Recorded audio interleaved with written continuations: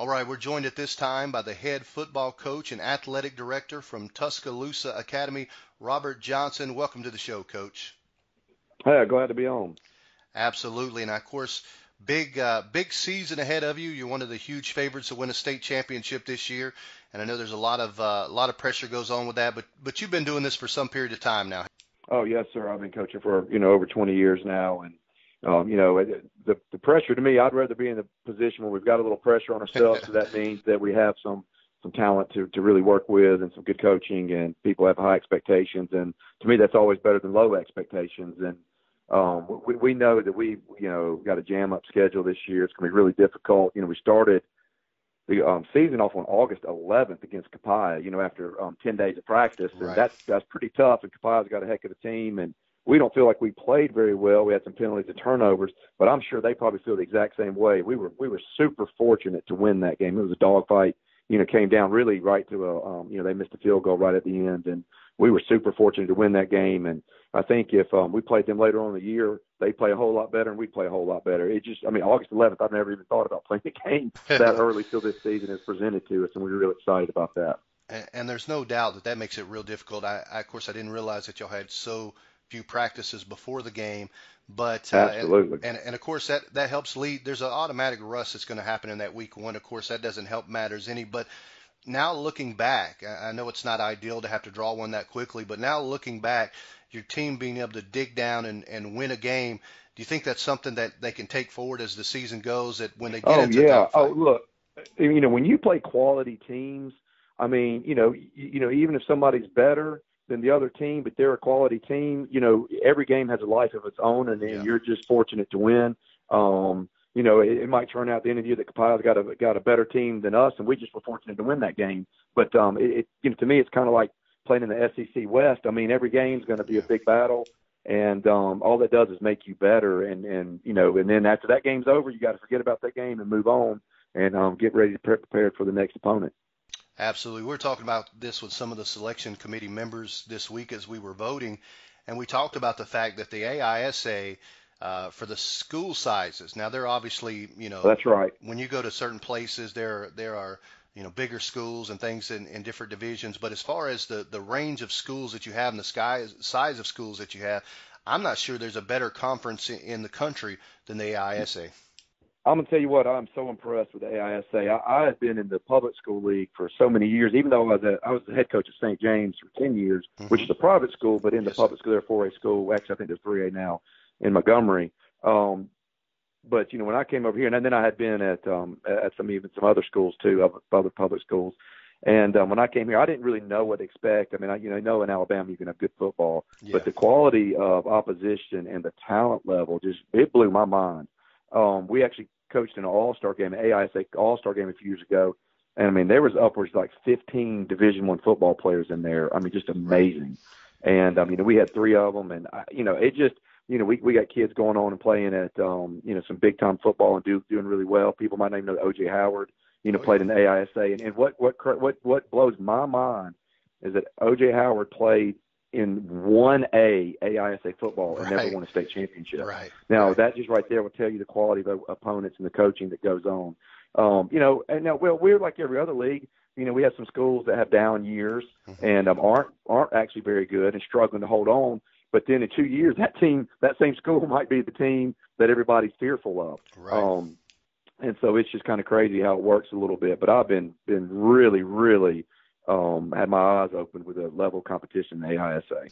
Absolutely. And I've been familiar with AISA obviously for many, many years, and it just seems to be getting better and better.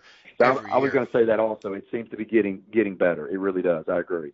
Absolutely. Now, let me ask you this: Speaking of good teams, you've got a pretty a pretty good one uh, coming to town this weekend when you square off against the Escambia Academy, number one ranked team in Division Four. You're the number 11th ranked team in Division Three. Two powerhouses. I think everybody before the season started kind of circled out three teams uh, right or wrong, and those change as the season goes on, as we talked about. But I think sure. I think starting out the season, everybody talked about Autauga, Escambia, and Tuscaloosa Academy. How big is this game this weekend? I know it's just one game, but but how big is it for you guys? Uh, well, I tell you what, Escambia's got a great team. Um, you know, as far as playoffs go, this really, you know, they're Division two in the AISA, we're Division three, which doesn't make, make any difference about the quality of the opponent. Right, it just right. means that's what the, you know, that just means what division we're in. But um, so it has no bearings on playoffs or anything like that. And when this game's over, we're going to move on, win or lose, same way from them. But as far as right now, game week, and this is our upcoming opponent, man, I couldn't be any more excited. Um, I've seen them on film. They are they are out of sight. They are very big. They've got some great running backs. A quarterback is is really quick and looks like he throws the ball well. Good receivers. Defense seems very very aggressive. Right. Um, it's just going to be a fun ball game. We know they're well coached. Coach Hugh Fountain um, is a great great coach, and he has some state championships under his belt and has been successful wherever he's been. And um, you know, I, I you know I hope that it's a competitive ball game because if it's a competitive ball game, I'm going to be proud of our kids. Um, if we stay in this game, and um, I think we can win it, obviously, but um, it's going to take some good things happening for us to, to be in that position. Absolutely. We're talking about Escambia Academy, Tuscaloosa Academy this weekend. Two AISA heavyweights going at it. I don't know, coach. There's, there's so many matchups that you look at when you go into the game. Me as a spectator, I can't talk as a coach of this game because I'm not coaching in it, but as a spectator, the thing I'm looking most forward to is seeing your offensive line and their defensive line go at it. Absolutely. It, it may not have all the glitz and the glamour of the skill positions, but that is going to be a heavyweight dogfight down in the trenches this Friday.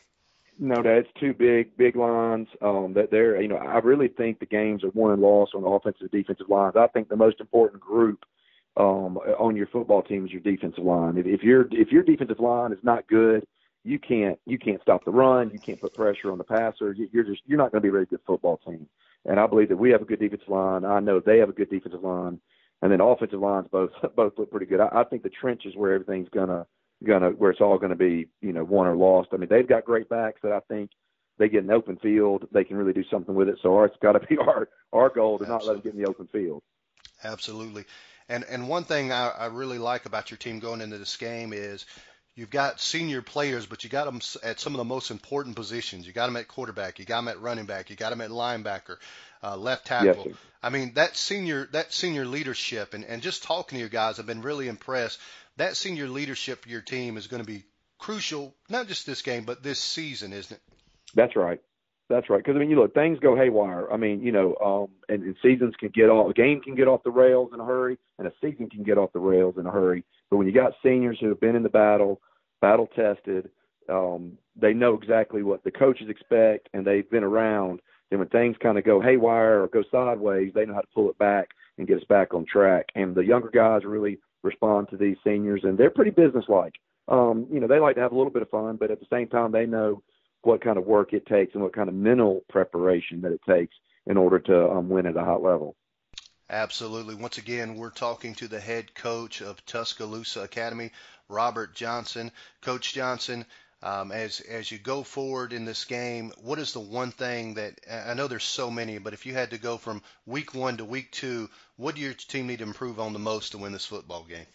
Without a doubt, turnovers. Um, you know, we had a few in the in the first game against Copiah. We did a better job. We actually played Lakeside in the scrimmage, and they've got a fine football team and fine um, head coach in Dan Clagus. But we played them um, the next week um, in a scrimmage, and so um, I think we improved on that. But I think Yeah. you know you've got to be able to hold on the football and um, and keep it because if if we have a we lose the turnover battle, we're going to have a real difficult time hanging with Escambia. Absolutely, and and like we said uh, earlier in the interview, that that time, that that quick turnaround uh, from the time practice starts to the time that uh, the first game of the year.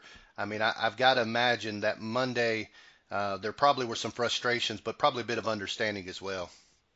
Oh yeah, absolutely. We knew we were going to get somebody. Like we said, we have a veteran team, and they understood how much better that we could get.